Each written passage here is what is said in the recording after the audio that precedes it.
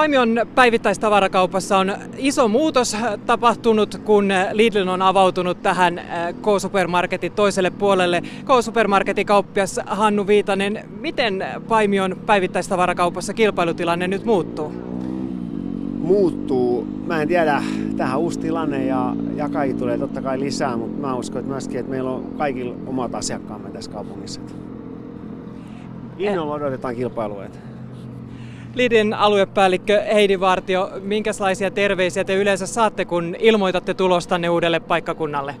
No hyvin, hyvinhän meidät yleensä aina niin kuin toivotetaan tervetulleeksi ja, ja ollaan iloisia, että ollaan tultu paikkakunnalle. Ja varsinkin tämmöisiin paikkakuntiin, missä ei aikaisemmin olla myymälää, myymälää ollut ja ei ole pidetty, niin täällä ollaan kyllä yleensä todella iloisia, että saavutaan. Että paimiolaisilta on paljon kuulunut positiivista, positiivista ja sanottu, että vihdoinkin te tulette tänne ja, ja tervetuloa. Eilen kun oli naapuri-iltaa, niin tämmöisiä kommentteja sieltä, sieltä kuului.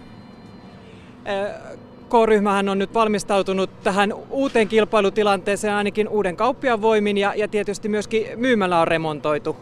Oliko tämä joka tapauksessa edessä vai, vai liittyykö tähän nyt uuden kilpailijan tulo? No se, että se oli joka tapauksessa oli edessä, että kauppa on rakennettu 2002 ja sen jälkeen remontit on ollut vähissä ja nyt se on päivitetty sitten 2020-luvulle ja se oli joka tapauksessa edessä. Ja, ja, ja, ja, ja tilanne, mikä on niin kuin syntymässä tässä näin, niin ihan normaali tilanne. Tämmöisiä paikkakuntia, missä on niin kuin kaksi jakajaa ja tekijää, niitä on tosi vähän ja kilpailu on joka puolella läsnä.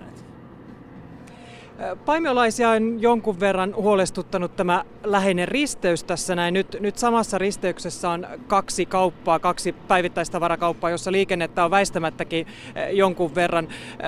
Miten K-kauppias katselee tätä liikennettä? Uskotko, että, että tämä risteys toimii ilman valoja tai, tai kiertoliittymää? Oma kokemukseni Paimiosta on tietysti rajallinen vielä ja miten liikennettä kulkee, niin siihen myöskin itse tutustun totta kai toivon, että kulkeminen on turvallista ja, ja sinällään niin kuin yhteisö pitää, pidetään yhdessä huolta siitä, että jos tarpeet on muuttaa, niin sitten muutetaan.